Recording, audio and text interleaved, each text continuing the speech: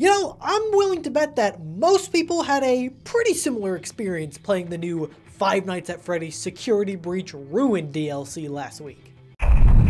Oh, Gregory is trapped in the Pizzaplex? Yeah, right. You know what? I bet this is that Mimic character from the books, but uh, we'll have to wait and see. Right, yeah, yeah, I get it. Gregory's been acting super shifty this whole time. He is definitely an AI. I also, I have this mask that lets me phase through solid objects.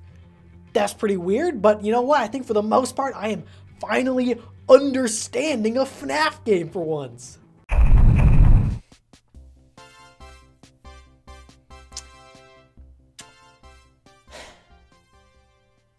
What the now, you all know me. Normally, I don't like touching FNAF lore with a 29 and a half foot pole. Instead, I usually like to look into the engineering and science behind everything. So, my plan for today's video was to try and explain the VANNI mask and how it lets you walk through solid walls. But in the process of researching that, I think I accidentally solved everything.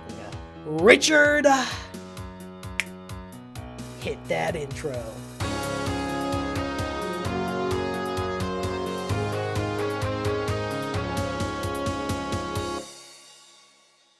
Alright, before we get into this mask, I'm gonna try my best to recap everything that happens in this DLC as quickly as I can. Also, spoilers for literally everything.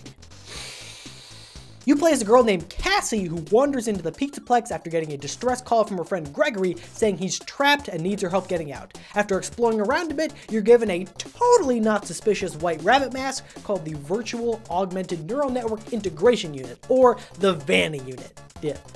Do you get it? Do you get, eh, it's because the, the person, you know, that, that lady from the for the first this mask allows Cassie to walk through certain solid real world objects, which is pretty weird, but we don't have time to dwell on that. The little helper character within the mask named Helpy fits Cassie with occipital transponders that allow him to communicate with her even when she's not wearing the VANNI mask. Cassie must use the mask to locate and deactivate a bunch of virtual security nodes throughout the Pizzaplex in order to access the sinkhole below Roxy Raceway and free Gregory. Along the way, she's attacked by the usual animatronics as well as yet another spooky white rabbit thing referred to as the Anomaly and later dubbed the MXES, which can only be seen while wearing the mask. Cassie eventually reaches the basement to discover that, surprise surprise, it's not Gregory that's been luring her around in a super shady way, but an AI called the Mimic that was replicating his voice. She's finally able to contact the real Gregory as she escapes, who leads her to the elevator, only to suddenly turn on her and drop the elevator with her in it. Gregory! Only it was probably the mimic cutting in again at the last second, because again, Gregory is a small child who's currently eating ice cream on a hill, not sitting at the top of the elevator shaft with like a, a pair of scissors or something. There are also two other secret endings. If you've discovered all the hidden cameras throughout the game, then you'll be able to take a different path during the escape where you can activate this scooper mechanism that kills the mimic, at which point the game abruptly ends with Cassie's fate left unknown. And lastly, if you don't follow Gregory's directions during the escape, you'll find a cardboard cutout of Freddy. Look at it with the mask and you'll see this weird image, at which point the game just ends. What? Alright, so I know you probably have a lot of questions after that, but let's put all those fake Gregorys and complete lack of any cathartic ending aside and focus on the VANNI mask. VANNI stands for Virtual Augmented Neural Network Integration. At first, this sounds like just a whole bunch of techno mumbo jumbo that some writer spent like 30 minutes coming up with just to have an acronym that matches the name of the antagonist from the first game. But let's go through those terms one by one to figure out what this actually means. Virtual and augmented are both pretty clear references to virtual reality and augmented reality. Now, technically speaking, VR and AR are not the same thing. Virtual reality is a completely simulated reality where nothing you're seeing is real, like with VR games like Beat Saber, and AR is when something fake is placed in the real world, like that one feature in Pokemon Go that you immediately turned off. Either way though, the gist is that this mask shows you things that aren't real. a neural network is a subset of machine learning, or in buzzword terms, AI. So, the VANNI is an AR slash VR headset that integrates you into the neural network of this AI called the Mimic. This is how Helpy was able to replicate Cassie's voice, and how Gregory can comment on things that Helpy says throughout the game. It's because they're both part of the Mimic neural network. Alright, so the VANNI Mask is a fancy VR headset that allows an AI to copy your voice and make you sing Frank Sinatra with Plankton. Cool. But that still doesn't explain, you know, the whole phasing through solid objects thing. In the games, there are certain points where like a box is blocking your path. But if you put on the mask, you realize that the box isn't real and you can walk right through it. But if it's really a VR headset, then surely it should be the other way around, right? When you're wearing the mask, you see boxes and stuff blocking your path, but when you take it off, you realize that it's all just virtual, none of it is real. I mean, that's how AR works. My first thought was, I don't know, dude, it's a video game. Magic or something, but but looking a little deeper, I think there is an actual explanation for this. Shortly after putting on the VANNI mask, Helpy implants some occipital transponders into Cassie. More big science words, let's break that one down too. The occipital lobe is the part of the brain that interprets what your eyes see. So your eyes receive light waves and then your occipital lobe converts that information into colors, depths. Basically, it controls what we see. A transponder is a device that detects radio signals. So if the VANNI mask implants transponders into the occipital lobe, then it could, at least theoretically, use radio waves to alter what you see, even when you're not wearing the mask. That would suggest that the objects that you can phase through in the game don't actually exist at all. When you have the mask off, the occipital transponders make you think that there's a box or whatever in the way, and maybe it's like so realistic that it tricks the rest of your nervous system into thinking that the box is real too, so you can't move through it, I don't know, Matrix style.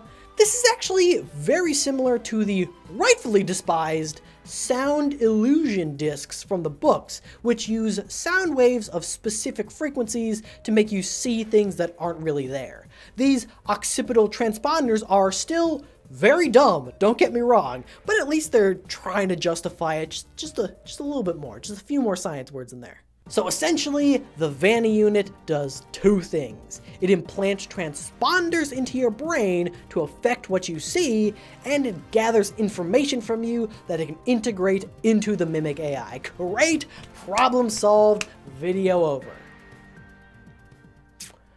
Except, there's still one question that I have. Why though? Like, what's the point? If the whole goal of Helpy and the mask is to trick Cassie into setting the Mimic free, how does making her think there's a box in the way unless she wears the mask help with that? And what's the deal with the anomaly? Is that a, a feature of the mask?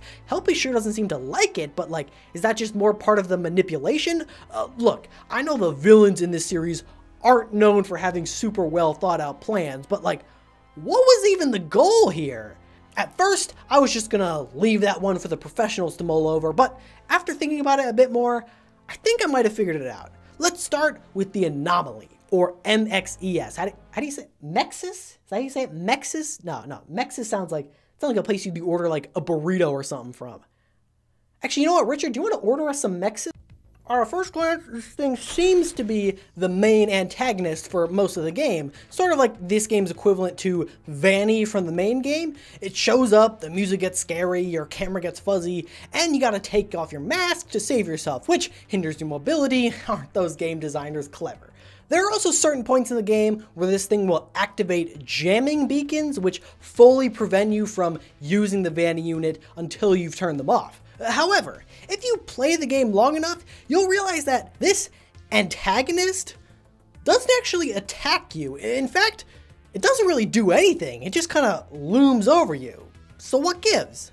If you beat the game, you discover that the Tex-Mexis is basically the security system designed to keep the Mimic trapped in the basement. So, in a twist, this thing is actually the good guy. Uh, but then, why is it always popping out and making me spill my uh, my water in my lap. I swear, I swear it's just water. Richard, Richard, don't you pan down. Richard, Richard, don't you dare. Well, think about it. The only two things that this guy does in the whole game are chase you down while you're wearing the mask, or activate beacons that fully prevent you from wearing the mask. Whether it's scaring you into taking it off, or outright stopping you from putting it on in the first place, it's pretty clear. This thing doesn't want you wearing that mask. But why? Well, I think the reason is twofold. First of all, you can only see the security nodes while you're wearing the VANNI mask. Now, initially, this made no sense to me. Like, realistically speaking, what are these things? Are the security nodes hidden in, what, the air? I mean, like, it's a video game franchise with ghost robots, so anything is possible, but I think there is a much more grounded explanation. Maybe the real security nodes are actual physical objects built into the architecture of the building, hidden in the floors and walls and stuff. And the big rabbit things that we see are just augmented projections over them to make them easier for Cassie to see. That's the only way that I can make sense of this stuff, unless like the entire FNAF universe also exists in like the Matrix or something, which I mean, at this point honestly seems pretty likely. So, Mexis Bell is trying to stop you from putting on the mask, because if you don't wear the mask, then you can't find the nodes. And if you can't find the nodes, then you can't free the Mimic. That makes enough sense to me, but I think there's actually one other reason why Del Mexis doesn't want you putting that thing on. Because, funny enough, this actually isn't the first time that we've seen a mask like this. In FNAF VR Help Wanted, we learn that a woman named Vanessa was possessed by this computer virus called Glitchtrap after she wore the exact same mask in a VR game, and she would later go on to be Vanny, with a Y, not an I, the sort of primary antagonist in the main game of Security Breach, who didn't really end up doing anything. At the time, we assumed that this was some sort of digital consciousness recreation of William Afton, who was trying to return to the real world, because let's be honest, that's probably what it was supposed to be at the time. But it seems like they are retconning that game to imply that Glitchtrap wasn't William Afton, but the Mimic replicating him. So if this white rabbit mask was the thing that allowed the Mimic to infect the mind of Vanessa, then perhaps the same thing could be happening to Cassie. The more you wear the mask, the more the Mimic can integrate you into its neural network, until eventually it fully takes over. That might be what's happening in that bizarre secret ending. In a moment of panic and mental weakness, Cassie puts on the VANNI mask one last time, allowing the Mimic to fully take control, fully integrate her into the neural network while showing her a peaceful image of Gregory, who we know the Mimic has been impersonating, Helpy, who's also a construct of the Mimic, and Vanessa, who we know has already been infected. Come on in, join us, they're saying the water's fine. Come on, join us. Trust us. You don't have a choice. Join us. That could explain why the occipital transponders make you see all these fake barriers blocking your path. The Mimic is forcing you to constantly put the mask back on in order to progress, slowly integrating you more and more into itself. That means that Mexis is not just trying to stop you from finding the nodes, it's trying to save your life. With that revelation, all of the pieces were starting to fall into place for me, but I still had one lingering question. When we find the Mimic, it's behind a wall of concrete. And if the Mexis was designed to keep the Mimic locked away, well then someone must have, first, locked it away. But who? Well, towards the end of the game, you can find a little robot named Candy Cadet who will tell you a story of a mother and a child who lived in the woods with a dangerous monster. The mother managed to lock the monster in their basement to keep her family safe. However, in time, the monster learned to mimic the sound of the mother's voice, and one day, while the mother was out, the monster sang the child a lullaby in the voice of their mother, tricking the child into opening the door to the basement and letting the monster out. This is surprisingly direct for a FNAF game. I mean, mean, this is barely a metaphor at this point. It's pretty much exactly what happens in the game. Cassie is the child, the mimic is the monster in the basement that tricks Cassie into letting it out, and the mother is. Well, we don't know. The most obvious answer might be Gregory if we take the story literally. The monster in the story mimicked the mother, and it was the mother who initially trapped it. Here, the mimic is copying Gregory, so that would mean that Gregory was the one who initially trapped it. Uh, however, the real Gregory also mentions the end that the mimic has been down there for a long time, and he genuinely sounds like he doesn't really know how it got there. And also, I mean, he's a small child. I don't think he's down there pouring concrete over a door. My other idea was Cassie's dad. Not only does it parallel the familial connection from the story, but Cassie also briefly mentions that her dad owns a Faz wrench. A weird detail to include considering her dad is never mentioned again.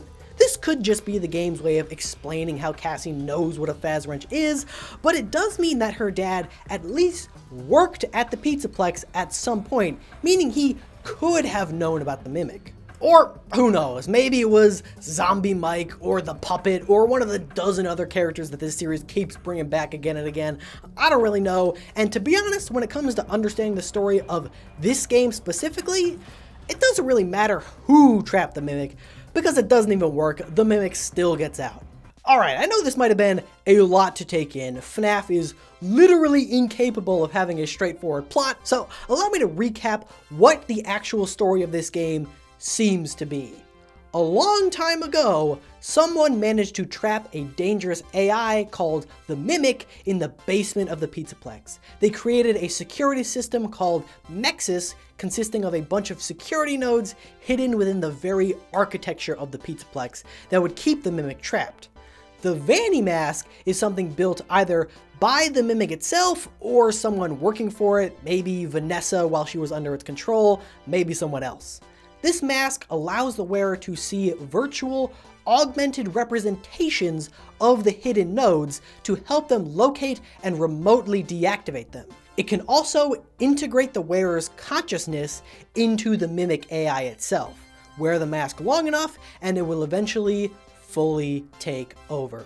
Lastly, it implants occipital transponders into their brain, which can allow the Mimic to alter what they see via radio waves, even when they aren't wearing the mask.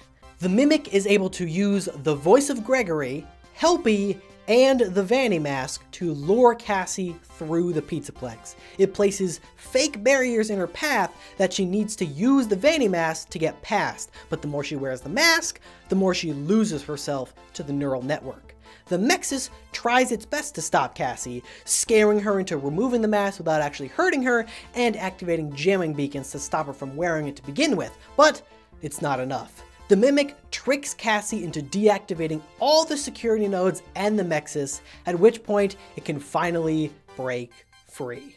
What happens next? Well, I suppose that's up to you.